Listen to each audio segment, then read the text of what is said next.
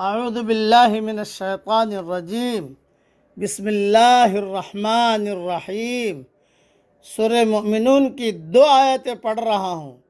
आयत नंबर ननानवे और आयत नंबर सौ। हत्ता इदा जाहदहुमुल मौत काल रब्बिरजिऊन। यहाँ तक कि जब उनमें से किसी पर मौत आती है तो वह कहता है क्या मेरे रब, मुझको वापस भेज दीजिए।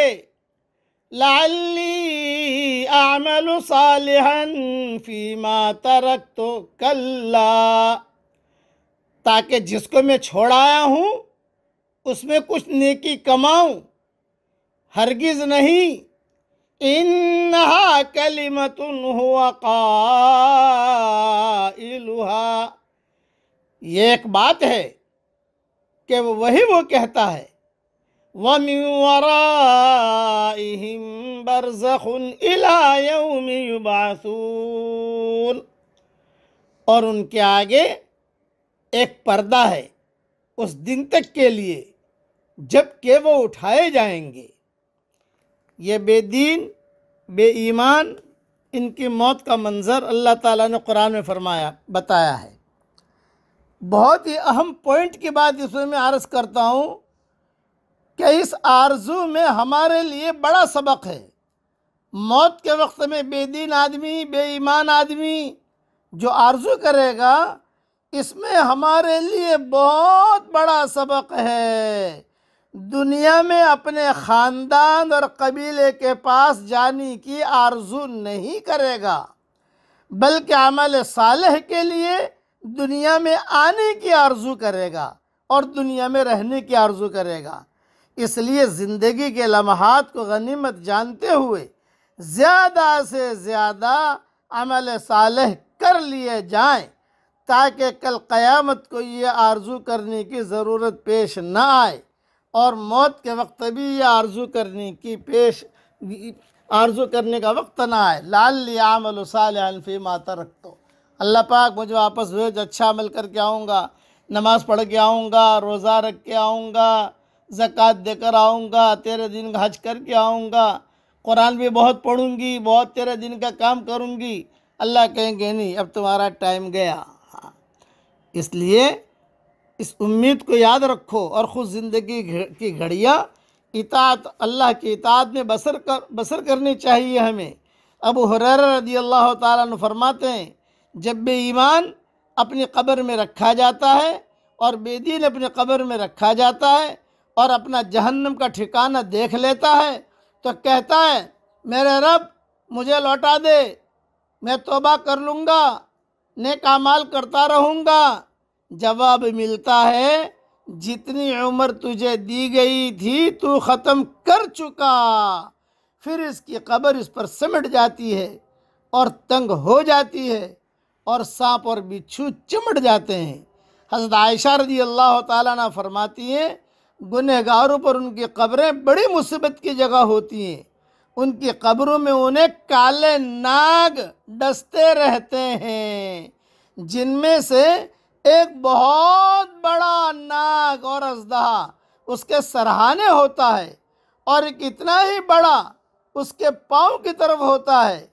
वो सर की तरफ़ से डसना और ऊपर चढ़ना शुरू कर देता है।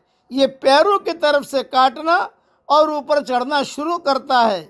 यहाँ तक के बीच की जगह आकर दोनों नाग इकट्ठे हो जाते हैं। यह है वो बरज़ख जहाँ ये क़यामत तक रहेंगे। अल्लाह ताला हम सब की इन अजाबों से पूरी पूरी हिफाजत फरमाए। मौत आते ही, मौत आते ही आदमी मौजूदा दुनिया से जुदा हो जाता है। उसके बाद उसके और मौजूदा दुनिया के दरमियान एक ऐसी आड़ कायम हो जाती है कि वो कभी इधर वापस न हो सके। आदमी जब मौत के बाद अगली दुनिया में दाखिल होता है तो अचानक उसकी आँख खुल जाती है। अब वो जान लेता है कि जिस आखरत को वो नज़रअंदाज किए हुए था वही दरअसल ज़िंदगी का सबसे बड़ा मसला था। दुनिया के सामान तो सिर्फ़ इसलिए थे कि उससे आखरत की कमाई की जाए। नहीं ये कि बजात खुद उन्हीं को असल मखसूस समझ लिया जाए। चुनानचे मौत के बाद वो बेख्तियार चाहेगा कि काश वो दोबारा दुनिया में लौटा दिया जाए। मगर ऐसा होना मुमकिन नहीं। क्योंकि खुदा का कानून यह है कि किसी आदमी को सिर्फ़ एक बार मौका दिया जाए, दो बार नहीं। मौजूदा दुनिया में आदमी अपने साथियों और रिश्तेदारों पर भरोसा करता है, मगर क़यामत में वो बिल्कुल तनहा होगा। वहाँ आदमी का ज़ाती अमल उसके काम आएगा, उसके सिवा कोई चीज़ किसी के काम आने वाली नहीं। ये मैंने मुख्तसर तशरी कर दी। और हदीस वगैरह जो मैंने बयान की है, ये तफसीर इब्ने कसीर में देख ली जाए। अब नेकी कर लीजिए, मेरे साथ पढ़िए, नेक अमल कीजिए, पढ़िए मेरे साथ। रब्बना, ला तो आखिदना इन नसीना, औ अख्ताना। रब्बना, वला तहमिल अलैना।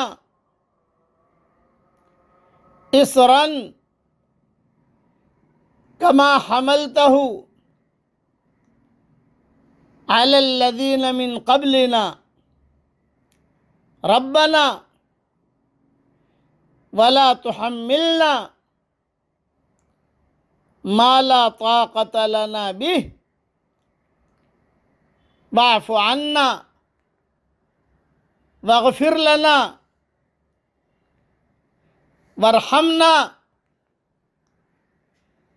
अंत मौलाना फनसुरना कौमिल काफिरीन। कुरान शरीफ की वाहिद दुआ है कि जिसके हर जुमले पर अल्लाह ताला कहता है, दिया दिया दिया दिया दिया।